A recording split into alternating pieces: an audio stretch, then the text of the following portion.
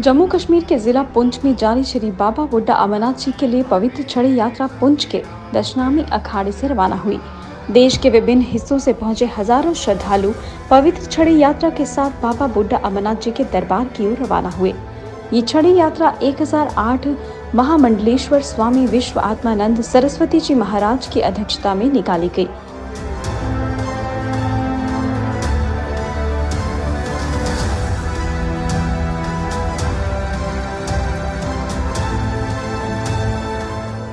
छड़ी यात्रा को रवाना करने से पूर्व दशनमी अखाड़ा में जम्मू कश्मीर पुलिस की ओर से सलामी पेश की गई।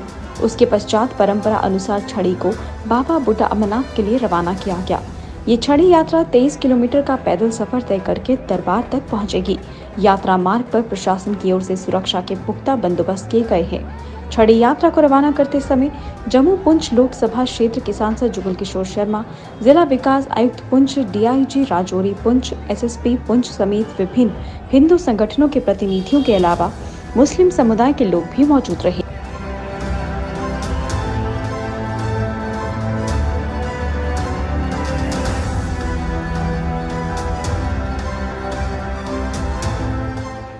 आज सबसे पहले छड़ी यात्रा के अवसर पर सारे देशवासियों को यहाँ पुलस्तर ऋषि की भूमि पुंछ से बहुत बहुत शुभकामनाएँ।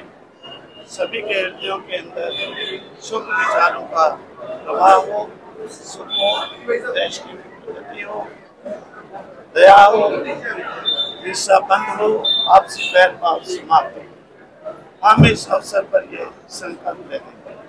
अभी चढ़ी यात्रा साढ़े नौ बजे यहाँ से प्रारंभ होकर बुढ़ा अमरनाथ जी जाएँगे। वहाँ पर तीन दिन तक बुढ़ा अमरनाथ जी के मंदिर में स्थापित करेंगे और फिर वापस यहाँ पर स्थापित करेंगे। उस दिन फिर कार्यक्रम इसी प्रकार से होगा। आप लोग सब भाई, आप लोग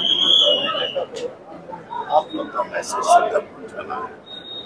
ये सब सब बहुत बहुत